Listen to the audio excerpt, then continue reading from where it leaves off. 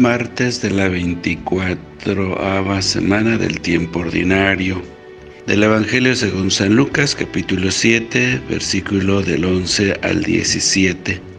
En aquel tiempo iba Jesús camino de una ciudad llamada Naim, e iban con él sus discípulos y mucha gente. Cuando se acercaba a la entrada de la ciudad, resultó que sacaban a enterrar a un muerto, hijo único de su madre, que era viuda, y un gentío considerable de la ciudad lo acompañaba. Al verla el Señor le dio lástima y le dijo, no llores. Se acercó al ataúd, lo tocó, lo que lo llevaban separaron y dijo, muchacho, a ti te lo digo, levántate. El muerto se incorporó y empezó a hablar, y Jesús se lo entregó a su madre. Todos, sobrecogidos, daban gloria a Dios diciendo, un gran profeta ha surgido entre nosotros. Dios ha visitado su pueblo. La noticia del hecho se divulgó por toda la comarca y por toda la Judea entera. Palabra del Señor. Gloria a ti, Señor Jesús. Esta vez el gentío milagroso de Jesús es para la viuda de Naim, un episodio que solo Lucas nos cuenta y que presenta un paralelo sorprendente con el episodio en que Elías resucita al hijo de la viuda de Sarepta. ¿Cuántas veces se nos se ve en el Evangelio que Jesús se compadece de los que sufren y les alivia con sus palabras, sus gestos y sus milagros? Hoy atiende a esta pobre mujer que, además de haber quedado viuda y desamparada, ha perdido a su único hijo. La reacción de la gente ante el prodigio expresa un gran profeta ha surgido entre nosotros.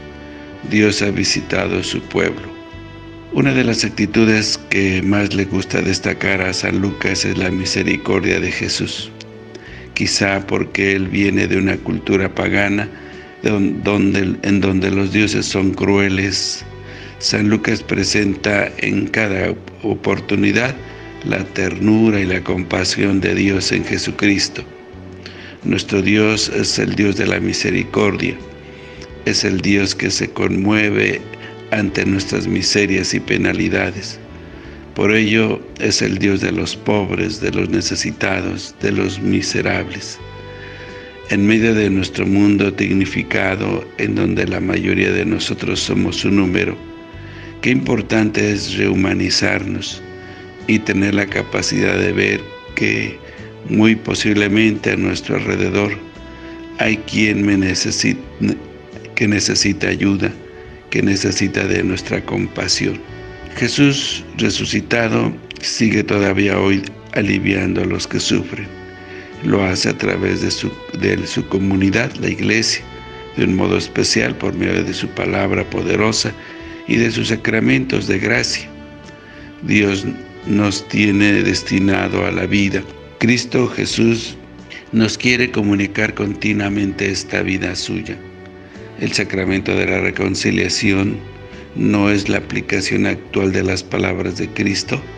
Joven, a ti te digo, levántate. La unción de los enfermos no es Cristo Jesús que se acerca al que sufre por medio de su comunidad y, la del, y le da el alivio y la fuerza de su espíritu. La Eucaristía en la que recibimos su cuerpo y su sangre no es garantía de resurrección, como Él nos prometió. El que come vivirá por mí como yo vivo por el Padre. La escena de hoy nos interpela también en el sentido de que debemos actuar con los demás como lo hizo Cristo. Cuando nos encontramos con personas que sufren, porque están, están solas o enfermas o de, o de alguna manera muertas y no han tenido suerte en la vida. ¿Cuál es nuestra reacción? ¿La de los que pasaron de largo ante, ante el que había sido víctima de los bandidos? ¿O la del samaritano que le, le atendió? Aquella fue una parábola que contó Jesús.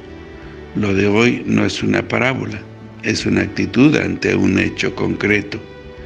Si actuamos como Jesús ante el dolor ajeno, aliviando y repartiendo esperanzas, por ejemplo, a los jóvenes, joven, levántate, también podrá oírse la misma reacción que entonces, en verdad, Dios ha visitado su pueblo. La caridad nos hace ser signos visibles de Cristo porque es el mejor lenguaje del Evangelio, el lenguaje que todos entienden. Que el Señor los bendiga.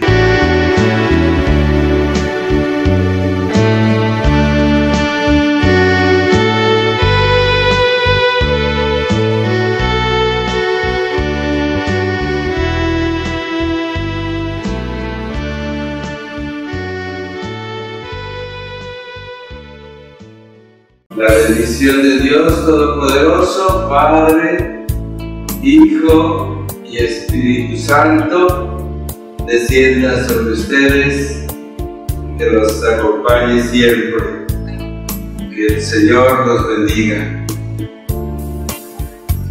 Si te gustó este video y deseas seguir recibiendo el Evangelio, misa en vivo, oraciones y muchas reflexiones más, no olvides suscribirte a este canal de YouTube, dejar tu comentario, compartirlo y darle like. Que Dios te bendiga.